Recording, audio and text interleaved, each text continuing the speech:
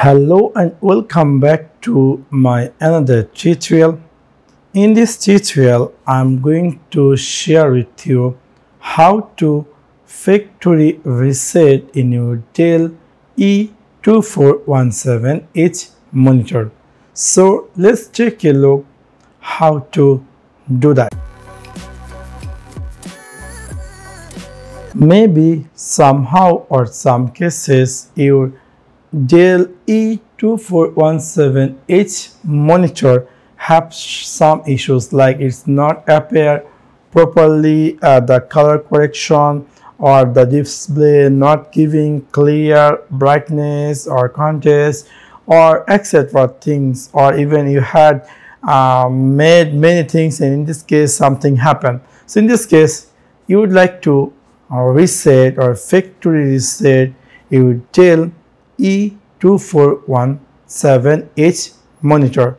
So I'm going to share with you how you can do that. You can see in your Dell E2417 monitor, you'll get here nearby this power button, you will get there is a 4 button.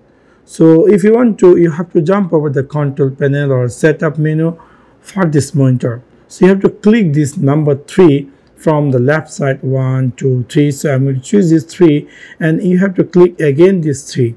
And you will see there will be a this uh, dell e2417 monitor appear. You will you can see here this is the lay uh, up and down button and this is the right button and this is the close. But if i go up it will go automatically up. If i go uh, under down it will automatically come down. Now in this video I will share with you how you can factory reset. So for that you have to come all the way down. You can see that now it is here and other and I will go from left to right side. So for that you have to choose this icon again and it will come in the right side. And here come all the way down.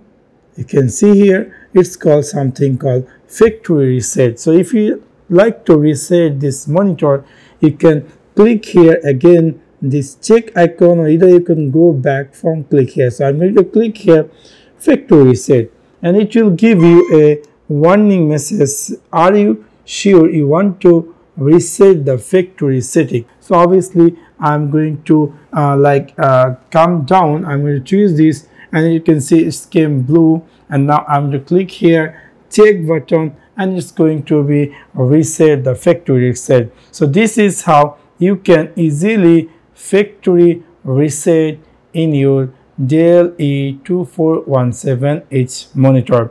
So that's for now guys. Thanks for watching my video. See you next one. Peace.